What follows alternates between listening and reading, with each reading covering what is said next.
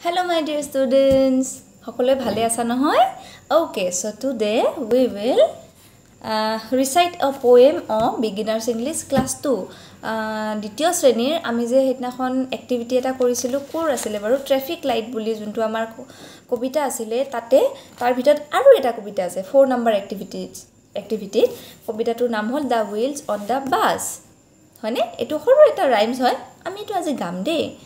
ইয়াৰ আগৰ ক্লাছত মই অকণমান তোমালোকক এইটো পঢ়াই দিছিলোঁ হয়তো তোমালোকৰ সেইদিনাখন ভালকৈ মনত নৰখিলে গতিকে আজি আকৌ এবাৰ এইটো পঢ়াই দিওঁ। ইয়াতে বাছৰ চকাৰ বিষয়ে কৈছে হয়নে? গতিকে আহাচোন আমি এই চাৰি নম্বৰ এক্টিভিটিত থকা হুইলছ অন দ্য বাছ বুলি যোনটো কবিতা দিছে সেইটো আমি পঢ়োঁ। কেনেকৈ পঢ়িম? The wheels on the bus go' round and round Round and round, round and round. The wheels on the bus go round and round all through the town. The horn on the bus go beep, beep, beep.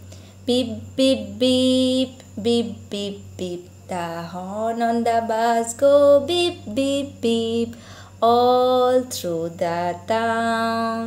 ভাল লাগিছেনে ভাল লাগিছে হয়নে? বৰ ধুনীয়া হয়নে? আৰু কবিতাটো গতিকে আকৌ এবাৰ কৰোঁ আমি। হ'ব?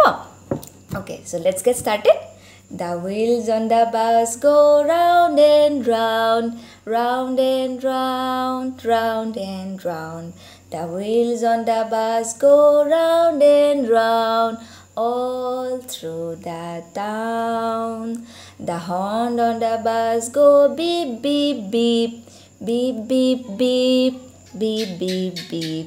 The horn on the bus go beep, beep, beep.